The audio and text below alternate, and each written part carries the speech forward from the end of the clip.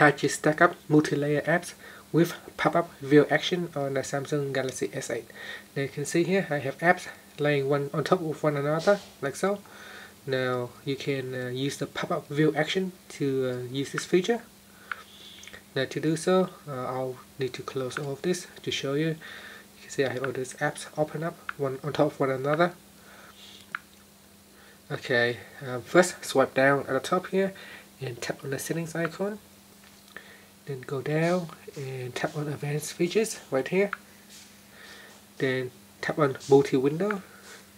And then tap on the pop-up view action switch to turn it on.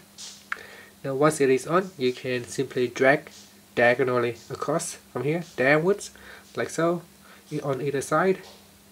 And this now will open up the first windows. So to launch another windows you can also resize the windows by simply dragging on one of the corner like this now we open up the second windows. So I'm just going to open up this uh, app here internet app. And again just drag it on the corner downwards like this. So it needs to go from the outside inwards. And here you can see I have successfully uh, opened up two apps laying on top of another. Now I can continue to open up another app like so. And then I can uh, again uh, stack them up by simply uh, closing it in like this.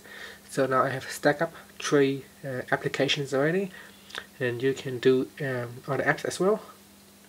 I find uh, once you have uh, more than two or three apps uh, open like this it's becoming clutter and a bit hard to use. So maybe two or three open at the same time is a good idea. And from here you can switch between apps just like so as you can see I can stack them on top of one another. And to close it simply just tap on the close button at the corner there and that will close this tab.